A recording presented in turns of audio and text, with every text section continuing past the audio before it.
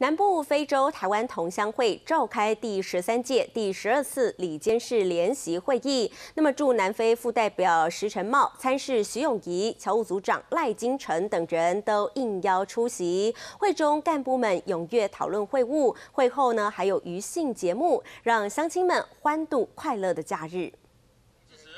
南部非洲台湾同乡会第十三届第十二次里监事联席会议，会长江正国选在距离约翰尼斯堡南边一百公里的绿宝石度假村举行。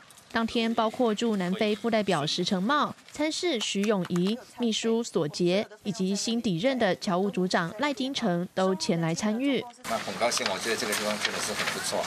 不过刚来有很多地方必须要学习的，哎，请各位这个侨界先进多多指导。那希望这今天的这个李监事会能够顺利成功。这次的里监事联席会也是二零一七年第一次的里监事会议，会中讨论将于四月三十日举办的大型台湾文化嘉年华会。江会长表示，嘉年华会去年第一次举办，成果相当丰硕，吸引将近两千人参加，因此今年将再次扩大举行。大家踊跃讨论并规划各项工作细节，气氛相当热烈。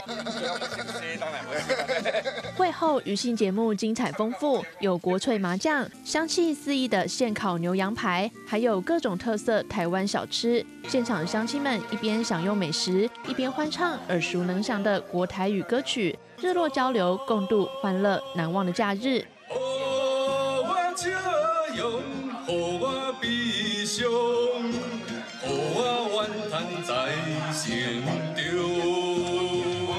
台湾宏观电视苏展庆，南非约翰尼斯堡。采访报道。